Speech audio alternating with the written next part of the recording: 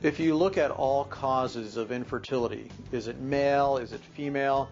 It's probably a 40 male, 50, 60% female split, since there's more things can go wrong with the female than the male.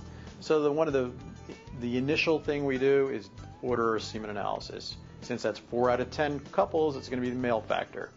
After that, we look at all the female factors. One of the most common female factors is ovulatory dysfunction. Ovulatory dysfunction means a woman is not having a period every month. It's maybe every two or three months. That's pretty easy to treat. The most common treatment for that is usually is Clomid. If Clomid doesn't work, we move on to other kind of ovulation enhancing drugs. But the, the, another major cause of fertility, infertility in females is tubal blockage. That's why we order the X-ray to make sure the tubes are open.